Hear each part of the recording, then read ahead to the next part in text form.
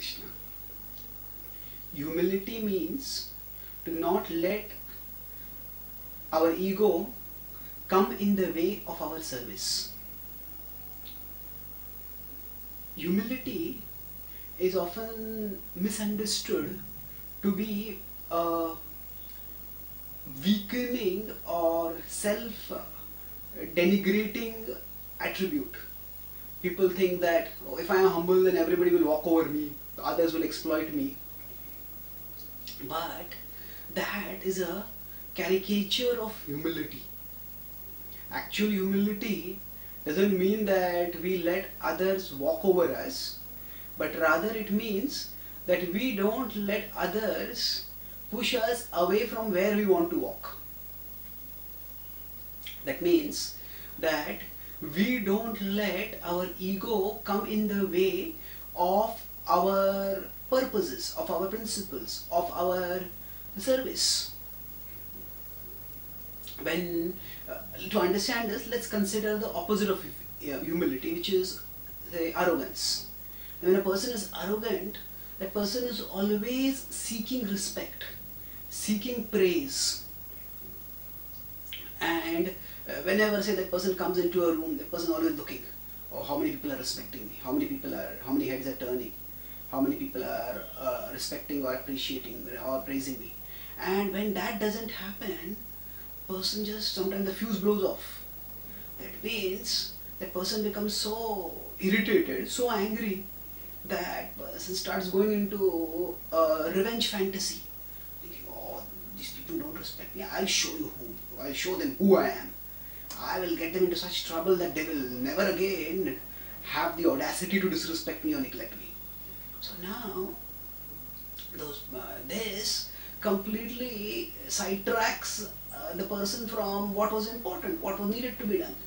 So when we talk about humility, the point is not point is that our action is not dependent on others' actions in terms of whether they offer us respect or not. Yes, if for a if for our particular service a certain level of attention, certain level of uh, respect is deference is required, and if we don't uh, get that in a particular place, then we can go to another place. For example, if somebody is a teacher of the Bhagavad Gita, and that person finds that on going to a particular venue, nobody is interested. People are just chit chatting, gossiping, uh, playing, fooling around during the class. And person may say that okay, I will not go there in future. That's not because those people are disrespecting me, but that's because uh, my purpose, my service is to share the message of the Gita. And if people are not interested, why should I go there? But if that person is arrogant, then person will start thinking, oh, these people, they are so foolish, they're so fallen. I will show them, I will chastise them, I will tell them that they will go to hell because of neglecting Krishna. And then that will alienate those people further. And that will not serve the purpose at all.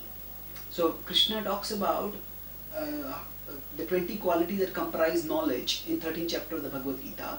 And therein in 13.8 he begins that list with amanitvam.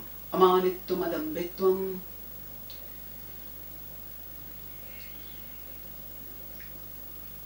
So amanitvam is humility.